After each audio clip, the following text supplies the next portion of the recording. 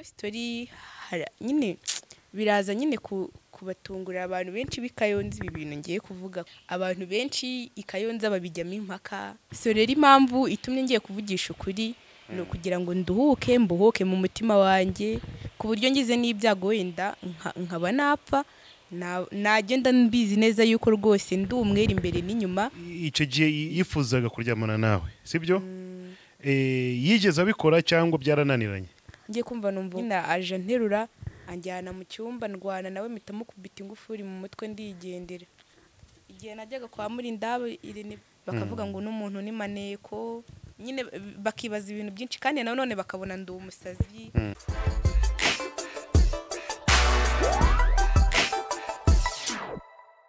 Yes kuba urimo gukurikirana big town tv mumeze gute? Aka kanya ndakeka ko mumeze neza cyane kandi big town tv irahari kugira ngo ibazane inkuru nyinshi zitandukanye uyu munsi tukaba turi kumwe na eh, nguyu yamenyekanye nka miss dalian wa feki. So eh, tukaba turi kumwe nawe hano kuri camera the big, the big town tv eh, ni byinshi araza kutubwira icyo ngusaba no gukanda subscribe. Maze ukagumana natwe maze gahunda zikagenda neza cyane reka eh, tumusuhuze. Kwanza nawe adusuhuze maze dukomeze na gahunda zacu amakuru amakuru ni meza ndabasuhuje cyane Mhm. Eh, wamenyekanye cyane nka miss dalian wa feki yanamenyekanye nyine ku bintu byo kuvuga nka we nkabeshya abasore ko ndi dahurina nkagera kuri elementi no kuri murindahabirine nyine Hmm. niko namenyekanye nyine ariko nyine nasabye imbabazi kandi nyine ndabashimira kuba mwarambabariye Hmm. wasabye imbabazi Eh, Yego. z'iki z'uko nyine nabeshyaga abasore nka ni na nyine nawe nkasa nk'umuntu nyine umwicira izina bya bintu nyine byo kwaka amatike najyaga nkora Hmm. Mm. Eh, wa- wa- wa- wa- wariye amafaranga menshi cyane ni menshi usibye nyine ko naryaga incagucagu Hmm. Mm. Eh, west cross abantu benshi urabarya menshi buri muhungu wese nyine nabaga na- nabonye ko akunda ababebi nahitaga muzira tu ako kanya ugahita umukubita injuga ak- Mm. akakohereza. Mm. Eh, ebu tukora gatoya ukuntu wabigenzaga eh, nko kuri telefoni uri kuvugana n'umuntu ushaka ko murya amafaranga. Ok alo wi shani ntabwo uzi ikibazo nagize. Ubu ngubu nyine nendaga kuza ariko nkubwije ukuri. Nubwo umpawe n'amafaranga reka nzinya gusubize ariko reka sheri ngaho yame agahita ambwira ati si sheri se wayama nyine sheri maje kuyagu- kuyagura ibintu by'amaronji imbuto nyinshi ndaza kuyaguha nimugoroba akavuga ati sheri nakundi nyine? Wenda nyine iyo nabibwiraga nk'umusore usa nk'uwukennye akavuga ati ntaribi yansubiza nahitaga amubwira ngo majije kuyagura imbuto? Ati kandi umugore wawe akwiye kurya imbuto akaba aratuje. Cyangwa se nkamubwira ati sheri uzi ikibazo nagize. Umva narindi ahantu nyine hari ahantu nari nagiye nitwaza amafaranga makeya agakarita kanjye nkuraho amafaranga nkasiga mu rugo ndakwinginze pe. Akaba amaye nk'ibihumbi icumi. Nyine ubwo nkaba ndayabonye kandi n'iyo karita ntazi ukuntu isa. Mm. Okay. Eh, ku bantu bazwi nk'abasitari ba hano mu rwanda abo wigeze wesikuroka bikarya ukabarya amafaranga ni bande? Ni abantu batatu. Uwa mbere ni ariko rero hari abantu baba bari kumbeshyera ngo yeremeti ngo ngo namuriye amafaranga uretse ko twakundanaga gusa Eh, twarakundanaga ariko mwakundanaga kuri telefoni mutarabonana. Yazi ngo ndi darina nyine ngira ibyago darina ajya kuri studio akoreramo barabimubwiye eh. tuba turashwanye. Ariko abantu nayariye ni aba- ni abantu babiri nyine icyo gihe elementi we yaguteretaga. Mm, Ag- agatereta azi ko arimo gutereta darina cyane rwose nanamukoreye ebo nkubita indirimbo. gatoya za elementi we wamukubise izihe nge ugakora u- u- uri kuvuga nka darina nyine? Naramuhamagaye ndavuga ati elementi umeze ute? Ni kayumba dahina nyine hari ikibazo nifite brada wanjye ashaka ko murikodingira indirimbo. Mhm. kandi nkunda kumva bavuga ngo muca ibihumbi magana atanu ariko sinjya mbyumva neza ni byo? ati ni byo? Mhm. ange yambwiye ati ushaka kum- kumwishyurira?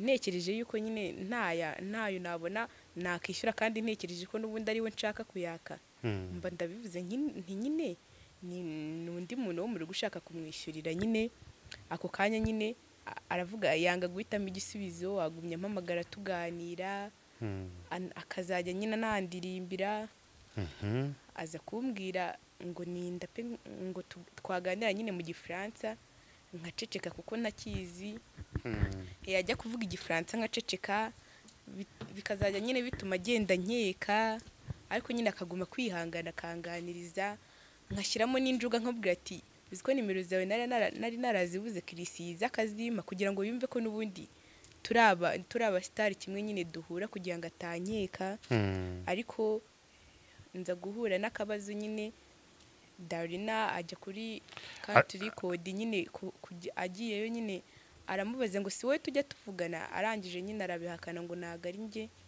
Kuvuga ngubwo nyine turashwana. Nanamukoreye akaririmbo.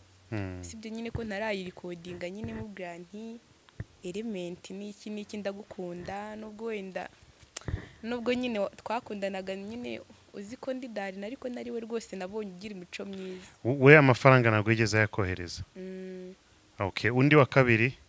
Kozi we nari buyamumareho iyo atamvumbura kozi? Eh umuntu ukoherereza ibihumbi icumi by'amayinite kandi ibihumbi icumi by'amayinite kandi nyamara amayinite ari nk'ay'ibiceri bibiri by'ijana. Mhm.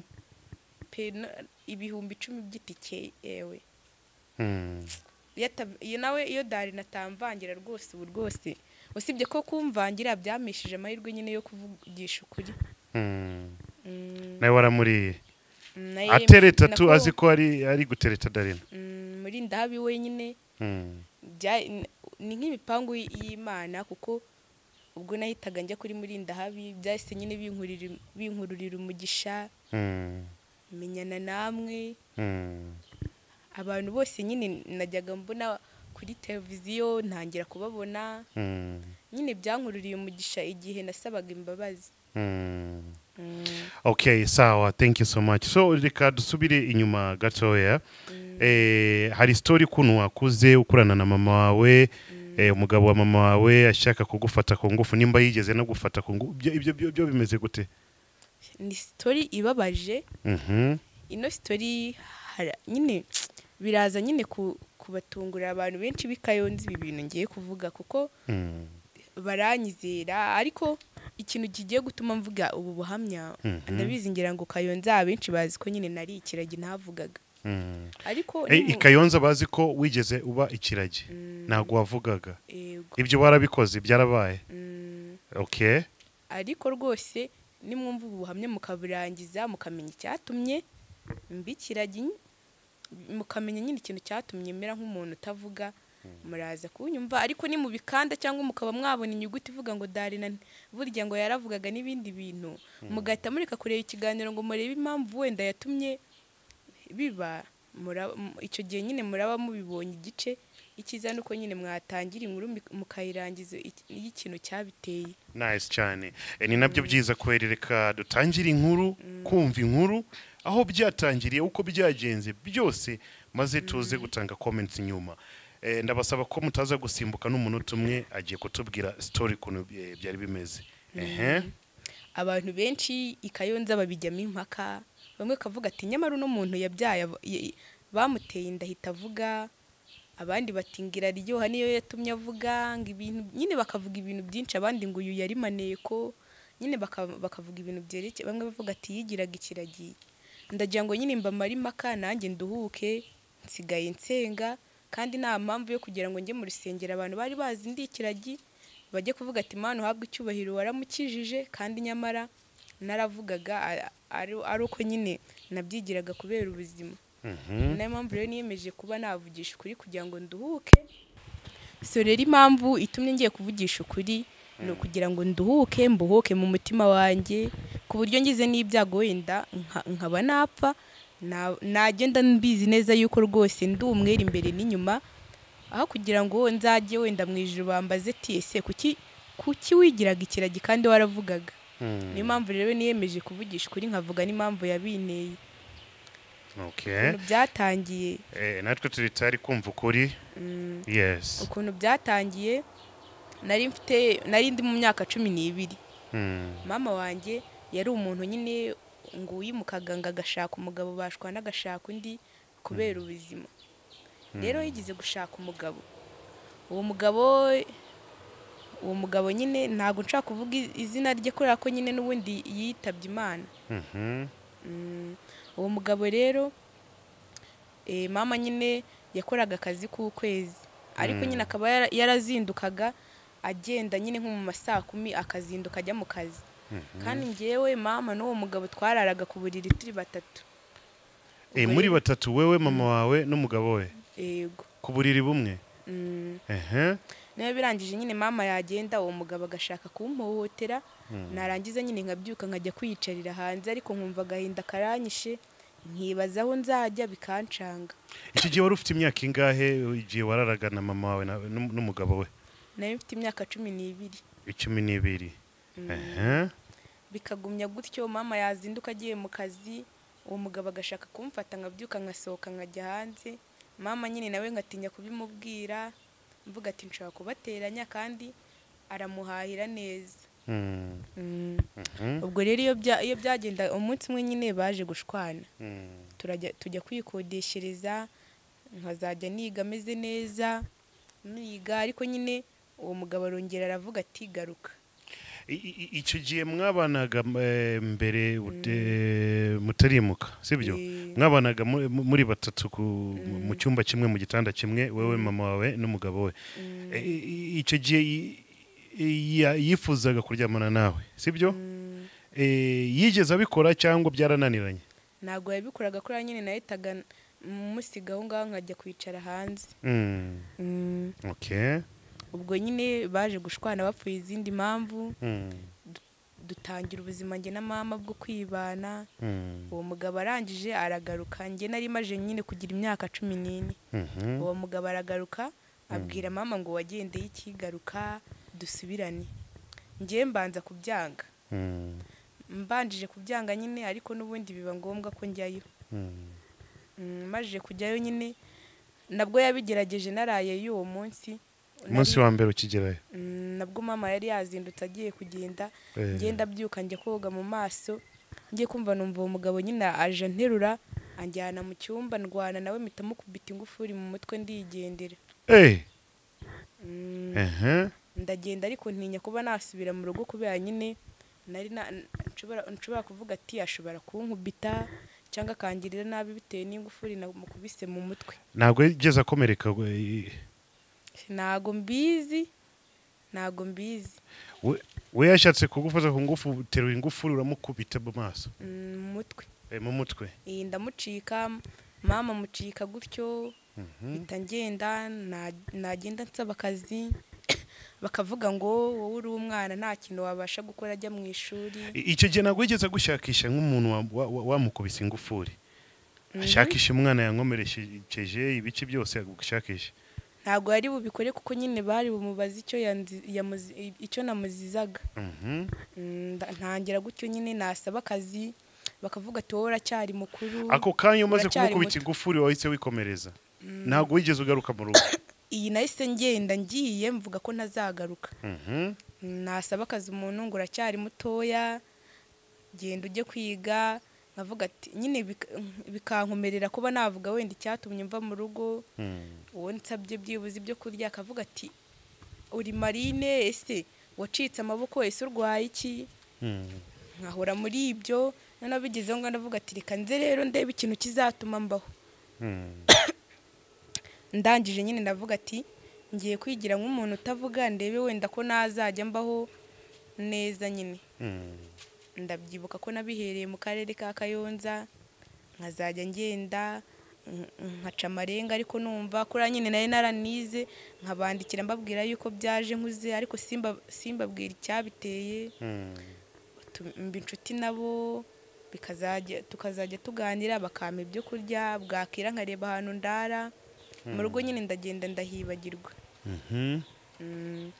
ariko bamwe bakazajya bavuga ngo uyu ni maneko abandi. Noneho sasa icyo gitekerezo cyo ku akitinga cyangwa kwigira nk'umuntu utavuga cya- cyaturutse he? Iki ahantu cyaturutse Mm. nabonaga nta hantu mfite ho kujya. Nasaba akazi bakavuga ngo ndacyari umwana. Mhm. nasaba icyo kurya bakavuga ngo ndwaye iki. Ndavuga ati reka nze nshaka ikintu narwara byibuze ndebe ko nabo ntabwo bazajya bagumya kumbaza gutyo. Mm. ndangije nyine nigira n'umusazi nkazajya nambara ibintu by'ibisatsi mbonye nkoye kuri saro kugira ngo byibuze batana- batanavuga ko mbiyikoresha Mm.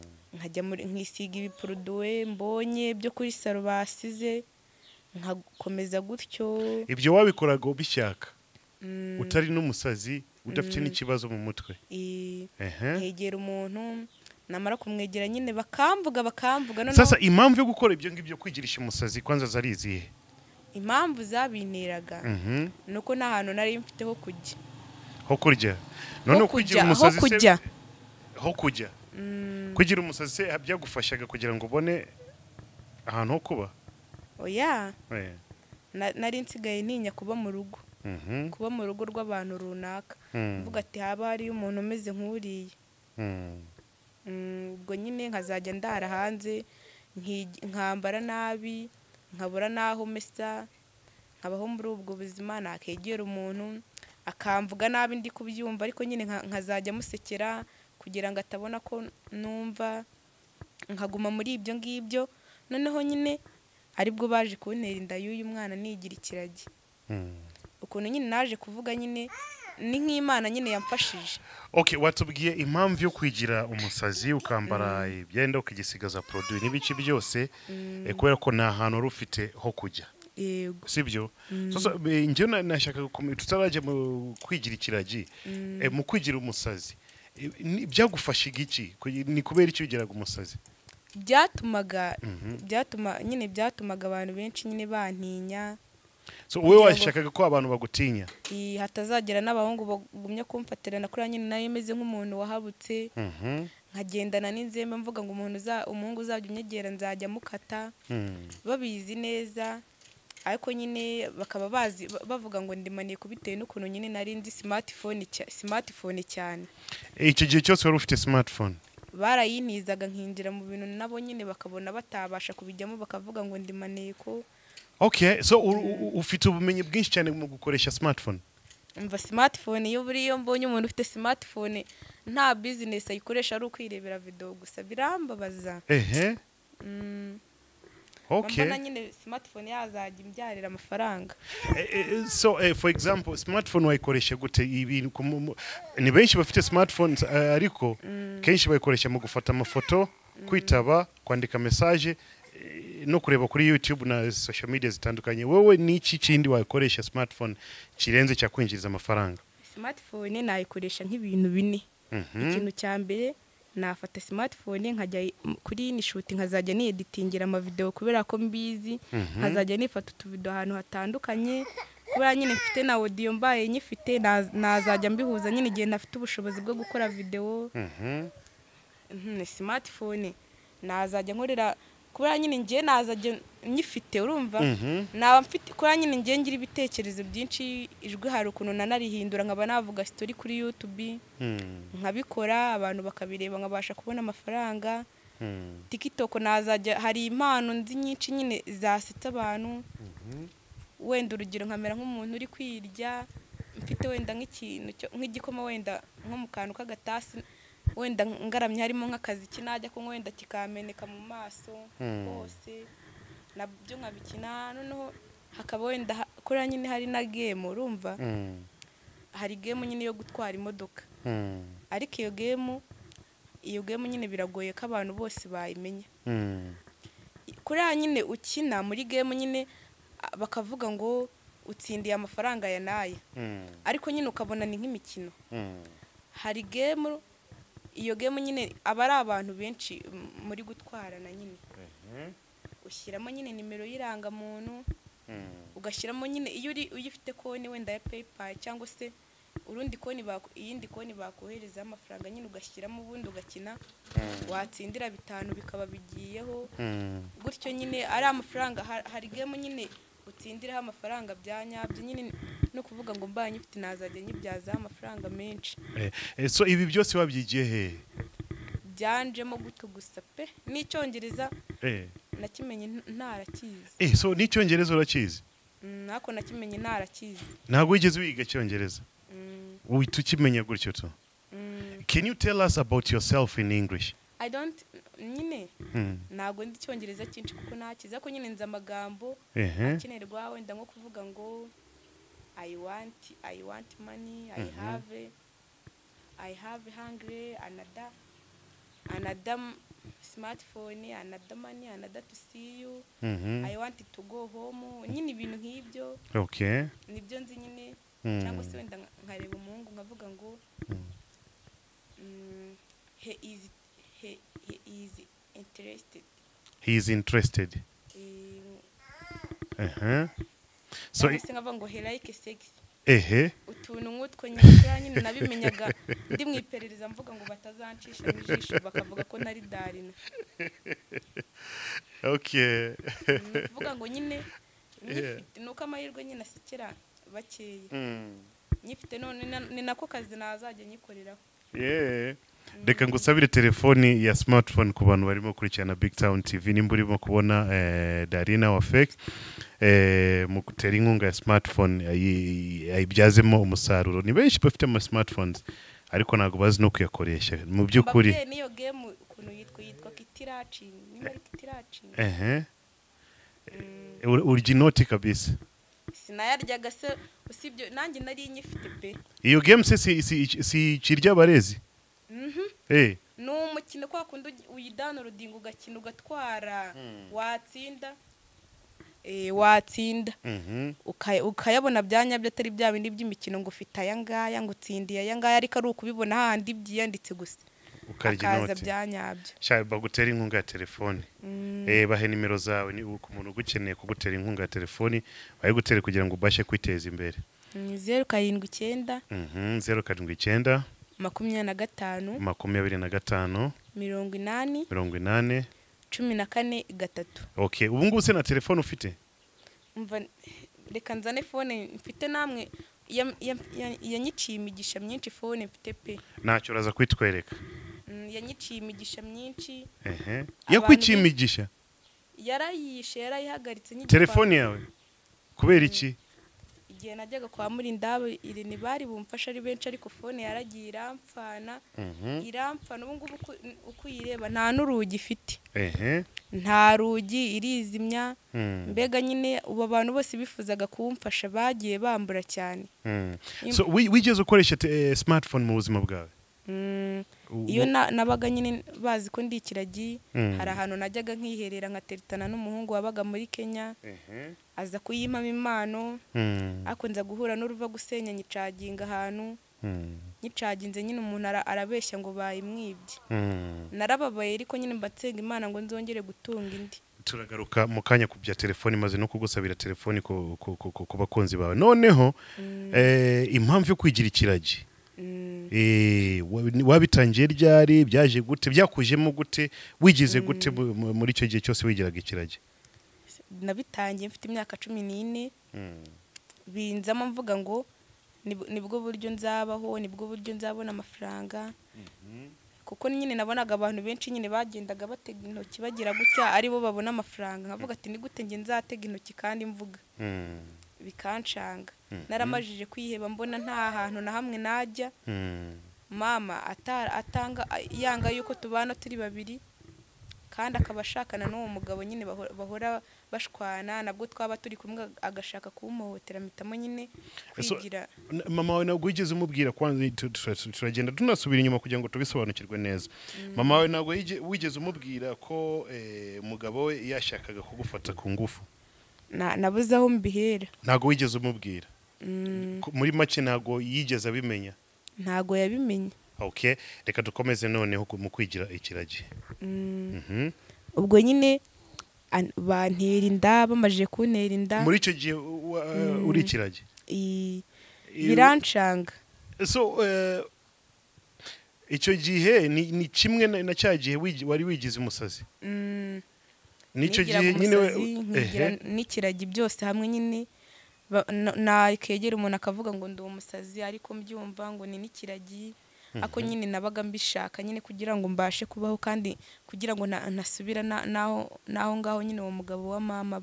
Eh, hari ukuntu byagufashije kuba ikiragi n'ubu- n'ubusazi? Mm, gute? Byaramfashaga. Yego nyine ingaruka nabaga mfite ni uko ntagiraga ahomba kandi nkaba ntara- ntarabashaga no koga nk'abandi. Mm, ariko nyine ibindi bintu byitwa inzara na- nta hantu nari mpuriye na byo. Mm. waryaga buri munsi. Mm, okay Eh, okay waryaga gute? Ibyo ibiryo wabibonaga gute? Najyaga nko mu gipangu ahantu Mm, nkasaba icyo kurya umuntu akaba arakimaye nkajya nko muri resitora nkoza ibyombo bakangaburira bakanyemerera ko ninzajya noza ibyombo buri buri munsi ariko nzajya ndya. Nice cyane. So uh, wari wasimbutse utubwira ukuntu waje eh, guterwa eh, guterwa inda y'uyu mwana. Mm. Eh, byo byo byaba- byabaye gute? Ninde wabiguteye? Yabiguteye muri icyo gi- gihe wigiraga umusazi n'ikiragi cyangwa? Yari umukozi wo mu rugo w'ahantu nyine najyaga njya gusaba ibyo kurya. Ariko sinakundanaga nawe sinari muzi sinari mumenyereye. Mm. Njyayo nyine gutyo gusa. Kandi nawe azi ko uri umusazi. Mm. n'ikiragi yazi ko ndi n'ikiragi arangije nyine aramfatirana. Mhm, n'ubundi nanga kuvuga nkavuga ati "Ni- nimvuga n'ubundi arahita mvumbura turarwana yandushaga imbaraga. Mhm, birangira nyine nemeye ariko nari ntaramenya nyine ingaruka byantera mm, nyuma nyine nza kumenya ko ntwite. Mm, ndavuga ni imana yanjye ni gute nzagenda nka- nkacira amarenga papa w'umwana nk'aho navuga? Nkavuga ati senzamu ati n'ubundi yahita nanyaga kuko ukuntu umeze ntabwo yankunda ngo ni uko namuteye inda. Mm, yahita anatoroka. Nkagira ubwoba ndamwihorera nkavuga ati ubundi gute nanone natomboka nkamubwira ngo burya naravugaga. Nyine birancanga bigera aho bimuka ndicuza nicuza impamvu ntabivuze mm, Mm, ari bwo rero ku karere banjyanye nyine bi- bicanga abantu benshi nyine iyo hitambitsemo ibintu nyine byitwa ngo banjyanye kumvuza. Akarere nyine nako kari kazi ko nyine mbana n'ubumuga bwo kutavuga. Kandi bazi ko nyine nta hantu ho kuba ngira. Birangije nyine kanjyana kanjyana nyine kumvuza no kunyitaho igihe nari ntwite. Mm, ariko nkaba nari mfite ubwoba mm, ubwoba bwinshi cyane naratitiraga nkumva n'imodoka nayisimbuka. Mhm, nkavuga se imana yanjye kuko baramvuza mvuga. Ese ubu muganga nabivumbura? Ese ubu nibagiye kumfunga nyine nibazaga ibibazo byinshi? Birangije nyine baranjyana. Akarere? niko kakujyanye? iyi buriya ba- ndagashimira cyane. Ba- bagukuye hehe bakujyana mu buvuzi? Bajyaga bambona mu muhanda nyine Mhm, ngendagenda nyine bakabibona ko mfite ikibazo. Mhm, ni bwo rero ba- baje kuntwara nyine turandikirana barambwira ngo bagiye kumvuza ngo banyiteho. Ndanga navuga ati ubu wabona bakeka ko ndi umusazi bagiye kumfunga? Mm. nibaza ibintu byinshi nyine ariko bo bareba ukuntu nandika bakavuga ati wowe ntabwo uri umusazi ahubwo nyine tugiye kukwitaho kugira ngo utazabyara udafite aho uba. Icyo gihe warababwiye ko una- unatwite? Cyangwa inda yagaragara Yaragaraga- yaragaragaga okay Mm, ubwo nyine ba- banjyana noneho ku bw'ibyago banjyanye ahantu heza pe. Mm, mu bitaro hagati banjyana mu nzu nziza ariko hari abantu rero nkatinya kuvuga. Mm, Icya- icyari kimpangayikishije ni kimwe. Mhm, nabaga mpangayikishijwe n'ukuntu nyine ntari kuvuga kandi mbizi nkavuga ati none naba ikiragi burundu mm, bikancanga natekereza ukuntu najyaga niherera nka- nkamanuka hepfo mu cyaro nkavugira kuri fone mvuga nka darina. Bikancanga Eh, muri icyo neza. gihe cyose cy'ubusazi nubwo watekaga imitwe abantu Eh, wivugisha nka darina Mm, okay. Eh, noneho rero abahungu bari abahungu ndabasaba imbabazi. Mm, bari baranketse bamwe bikayonza barankeka umuhungu turateretana aza kumenya. Ariko nawe akabura uburyo abicishamo. Akavuga ati se ko bazi ko ari ikiragi. Nyine icyo gihe yagutereta- yagu- yaguteretaga azi ko uri umusazi nawe ni ikiragi? Mm, mm, yabaga azi ko ndi darina ah okay ku Eh, yes. aza ku- kubikeka Mm. aravuga ati ni gute nasakuza ngo n'umuntu a- a- a- hari ikintu ndimo kwibaza. Mbabare um- umbwire gatoya. Mu gihe cyo kugira umusazi n'ikiragi eh, ni cyo gihe Dari- darina nawe yari ari muri minsi yatangiye guhitinga hitingamo ukuntu eh? mm, eh, wabonaga hehe telefoni cyangwa amasaha yo kureba darina cyangwa umenye bariya baminsi wabamenyaga gute? Natiraga amataci umuntu wese nyine twabaga turi inshuti naragendaga nkamwegera nkatira taci umuntu yaguha taki akakureka no ukinjira no kuri youtube ukareba ibirimo? Cyane baranyizeraga ba- ba- bamwe bikabarenga bakavuga ngo ndi maneko nkajya no muri serivisi z'irembo nkabaha nka sengise nkababwira ngo ngo munize laputopu Mhm. nkajyaho nkabishyura bakavuga ngo n'umuntu ni maneko. Nyine bakibaza ibintu byinshi kandi nanone bakabona ndi umusazi Mm. bakabona ndi ikiragi nyine bikababana birebire nyine. So na, computer uzi no kwikoresha iyi computer yo wayize hehe wayigiye hehe? Nayi hari ahantu nyine twajyaga twishyura amafaranga tugakinira tugakina game kuri kompiyuta Mhm. ubwo nyine ni ho nayimenyeye. Uzi no gukoresha computer neza? Mm, okay so uh, akarere kakujyanye none mu buvuzi karanjyana biranshanga ndavuga ati koko ni gute imana yanjye ngiye kuba ikiragi noneho bya nyabyo bahita banyereka noneho n'umuganga uzajya umvura Mhm. noneho ndahangayika ndahangayika bakazajya bampa imiti Mm. Eh, mbonye ngo imiti nyine ituma ngo ngo umera neza ngo umuhogo hafunguka Mm. Mbirebye gutyo ndavuga nti aho kugira ngo noneho ino miti nyice reka mvuge ko nakize Mhm. mpita mvugiraho nyine ndababwira ngo ngo ndi kuvuga buracya nyine mu eh, nijoro ndyamye nyine ndavuga ati reka nshaka ukuntu mvuga ndabyibuka umuntu nariye amafaranga nyine witwa uwiragiye Mm. ari we wampaye gift y'iyo fone nyine nyuma akaza kumvumbura nkamusaba imbabazi nyine akambabarira mubwiye ubuzima bwanjye nyine mubwira byose yuko nigira n'ikiragi. Arambwira ati wa mwana wavugishije ukuri koko utazajya mu muriro utazima? Mm. mugisha inama mwandikira mesaje nabwo ati byancanze ndumva ndambiwe ndumva ndambiwe. Mm. Yangi- yangiriye inama aravuga ati vuga ko wavugaga. Nanone ndavuga ati gute nabivuga kandi ari akarere kabirimo.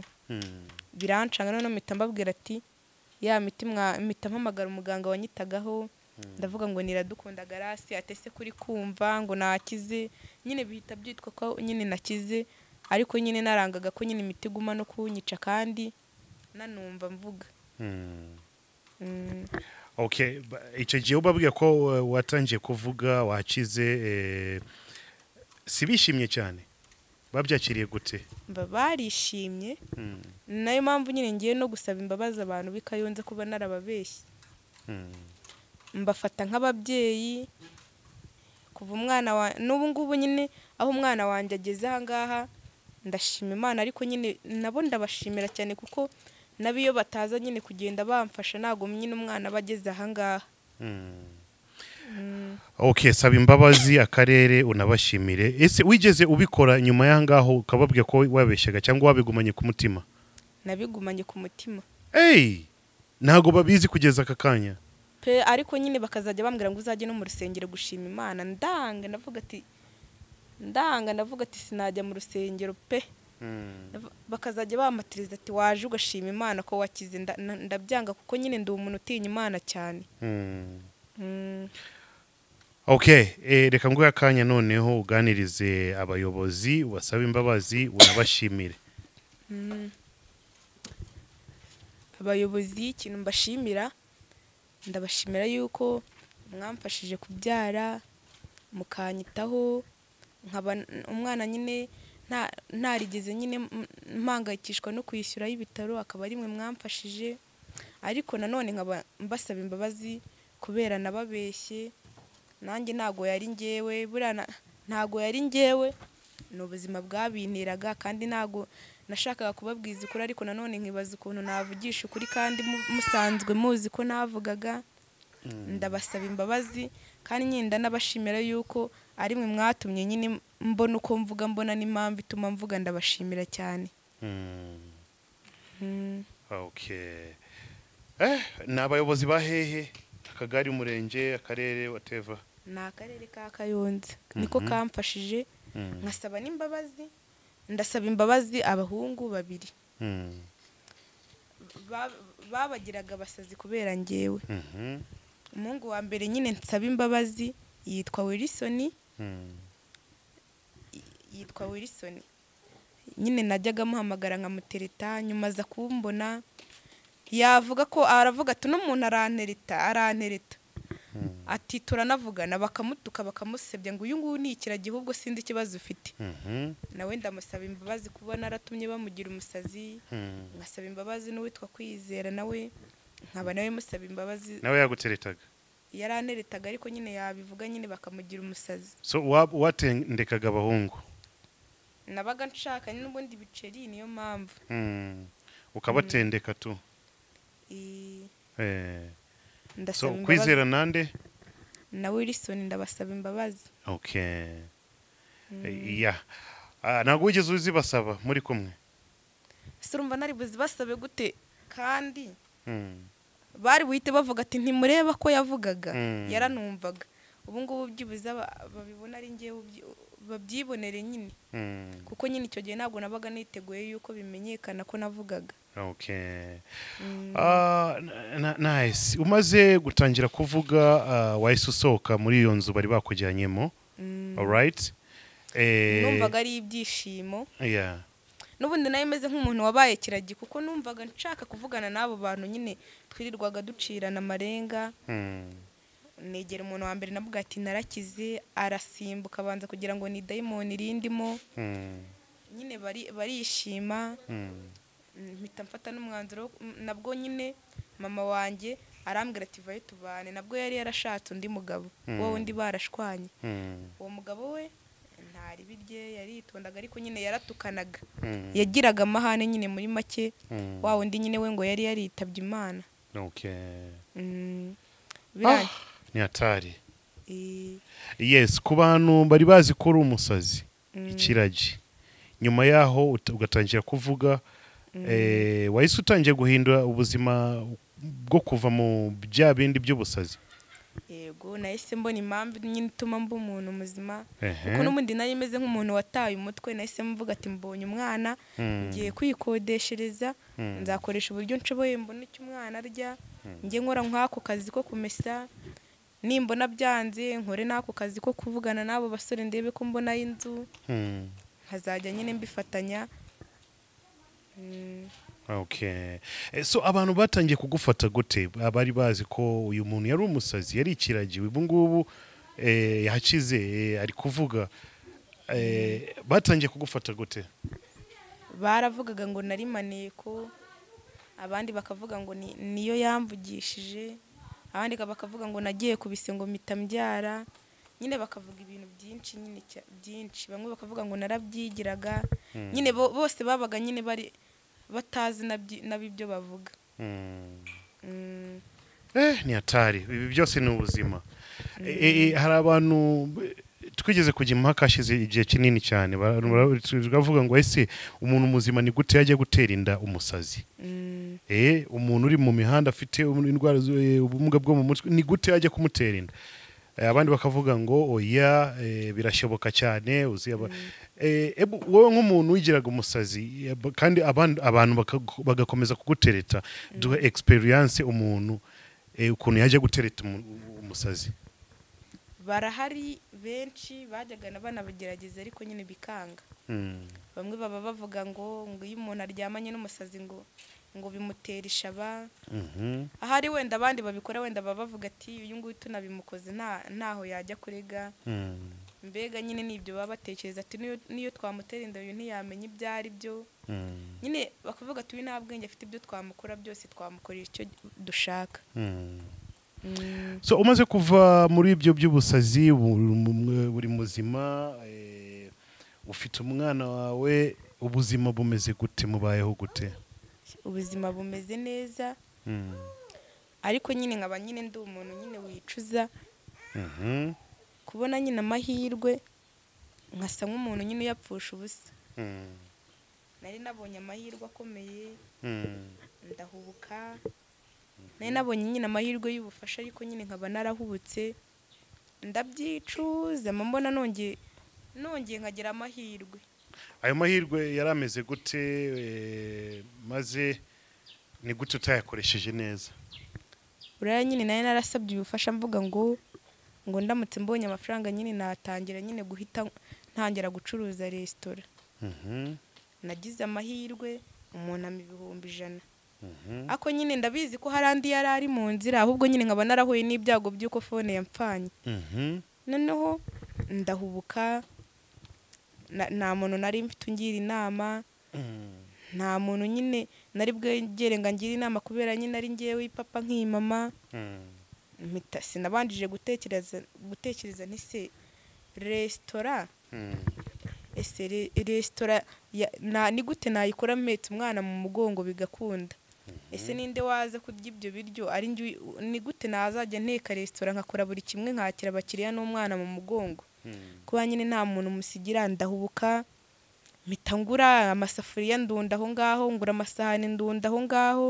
Mm. andi asaguye ndahubuka ngura ngura fone barampangika ya taci Mm. ipfa hashize nk'iminsi itatu yonyine ihita ipfa neza neza irapfa. Ngurisha biriya baku- bakunda kwita nyine ibikira nyine uduce duce nyine ngo urugi ukwarwo ngo ibiki nyine ba- ba- bayagura nk'ibihumbi bitanu Mm.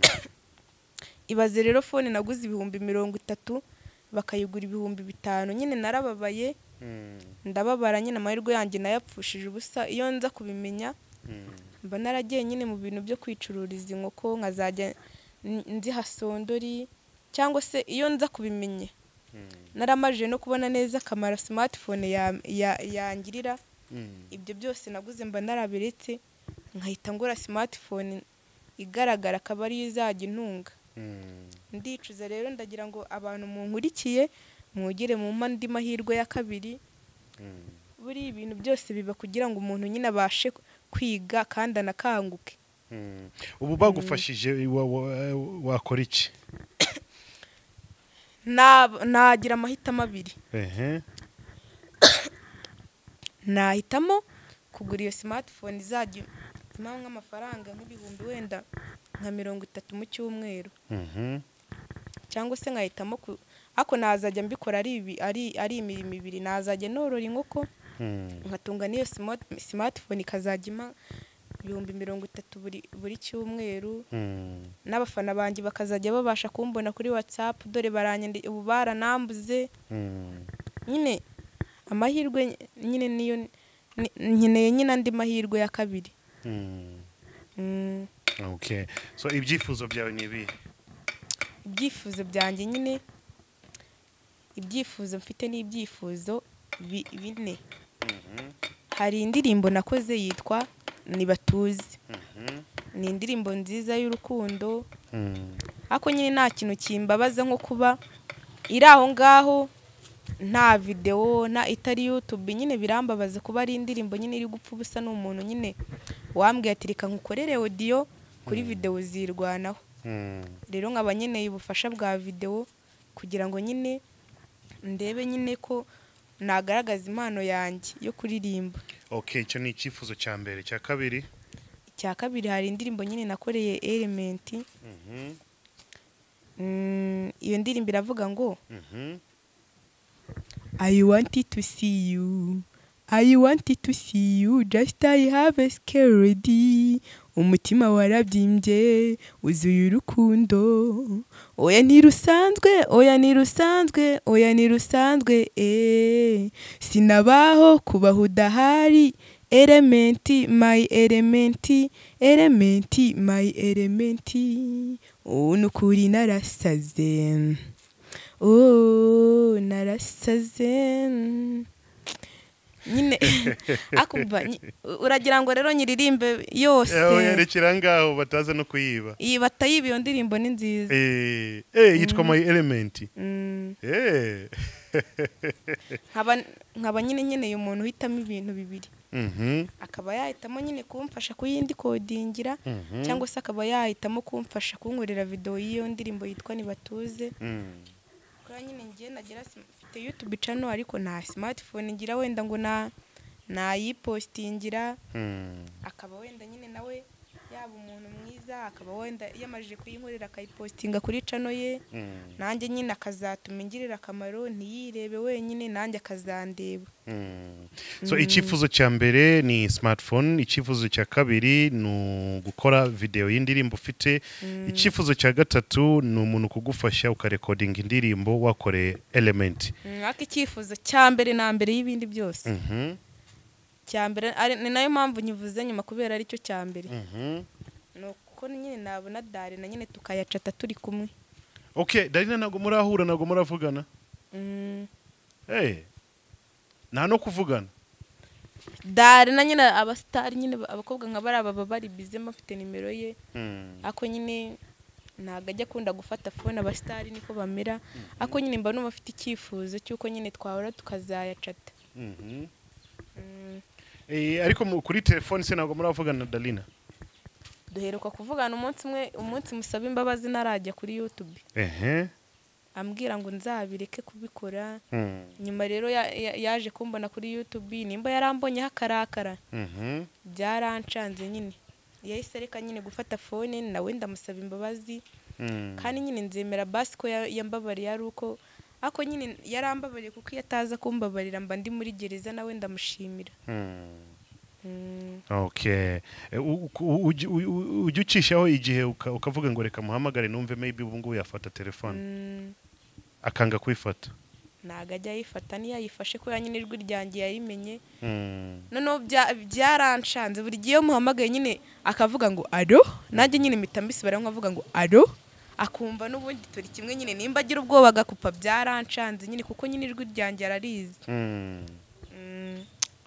Ni hatari. eh, vuga nka darina wa nyawe maze umusaba imbabazi. Umwigana n'ukuntu avuga. Darina umeze ute? Ndagukunda ndagufana kandi nyine ndagusaba imbabazi. Nkeneye yuko basi uzanyereka yuko wambabariye. Uki- ukirengagiza ko nakubabaje ukaba nyine wakemera yuko duhura tukaganira. Basi nyine nkanakuriraho ifoto nk'umuntu na- nahereye kera kera cyane mpfana. Ni cyo cyifuzo mfite mu mutima wanjye. Nice cyane urakoze cyane. Eh, ibyifuzo byawe abantu babyumvishe. Eh, uwo ari we wese biri bumukore ku mutima agira icyo gufasha hari abantu bafite amatelefoni batanayakoresha ari mu rugo hariya tu bagukubitaga smartphone n'ibindi byinshi bakagufasha maze gahunda zikagenda neza. Njye maze kugusabira n'ubwo bufasha kuko urabukwiye. Eh, ubutekamutwe waraburetse naraburetse natandukanye nabwo. Ubu ngubu nyine ndavuga mfite umwana nkwiye nyine gu- gushaka ejo heza hiwe. Ariko hari birambabaza cyane nyine kubona ayo mahirwe na yo nabonye narayapfushije ubusa. Nkaba narongeye kuzenguruka nyine nshaka akazi izuba ryica umwana. Mm. nyine bambaza se ko kuri YouTube tuba tubona uri kumwe n'abakire. Tukaba tubona ahangaha izuba ryirirwa ryumisha umwana wawe mu mugongo byagenze bite? Ese ntiwubasaba ubufasha ese bigenda bite? Nyine birambabaza cyane ni na yo mpamvu nyine nshaka nyine ko mwakongera mukampa amahirwe nkakoresha ubwonko bwanjye kugira ngo mbashe ko kuzabona igitunga umwana wanjye nkamus- nkamushakira ejo heza kugira ngo atazongera kubona atazo atazakura nyine nawe azenguruka nk'uko nyine nazengurukaga akaba imbobo nyine kugira ngo nzakure nyine mbasha no kumurihira amashuri. Ubu ngubu mubayeho gute n'umwana wawe? Ukuntu nabivuga tubayeho nabi. Mhm. ku buryo nyine hari n'igihe nyine numva bir- birangiye birangiye. Eh, Mm, mub- mubayeho gute? Nabi gute? Tubayeho turya rimwe ku munsi. Nabwo hari igihe nyine tubwirirwa tukaburara. Iyo nabonye akazi ntabonye byibuze n'umuntu umfasha ngo amumere icyo kurya nyine mbega nyine ni ibibazo. Noneho iyo ay'inzu yi- iki noneho kimpangayikisha nyine nkumva ne- na- nakiyahura n'ay'inzu. Kuko iyo umuntu nyine afite aho aba ibyo kurya nyine abishaka atuje. Mm. I- inzu ubayemo uyishyura ngahe? Ibihumbi umunani. Mm. ubu ngubu pe, ariko ay'inzu ubu ngubu niyo nyine ari kuntesha umutwe cyane. Mm. Mm, Okay. Eh, pole sana ababyumvishe babyumvishe baraza kugerageza uko bishoboka kose bagufashe eh, muri ibyo bafite. Eh, dusoza uratubwira iki? Harya amazina yawe ya nyawe witwa nde? Amazina yanjye ya nyayo nitwa iradukunda grace. Iradukunda grace. Mm, ariko abantu bazi nka Miss Darlene wa fake. Yego. Mushaka rero kumfasha mwamamagara kuri zeru karindwi icyenda makumyabiri na gatanu mirongo inani Mm. ijana na mirongo ine na gatatu. Mm. mwasanga itariho mukabikora kuriya nyine. Fone yanjye nk'uko nabibabwiye yambujije imigisha myinshi mugapfa kubikora. Na- nabona yatsi yongeye igakira nkayabona. Imana yabaha umugisha. Iyo nimero nyine ibaruye kuri ezekiyeri dushima imana Okay, thank you so much urimo kurikirana Big Town TV nawe kuza kutubwira uko bimeze kose. Eh, iyi ni Big Town TV icyo mugomba gukora ni ugukanda subscribe maze mugakomeza gukurikirana izi gahunda. I go by the name Bakti behind the camera nari kumwe na Mike nawe arakoze cyane. Until next time. Ciao ciao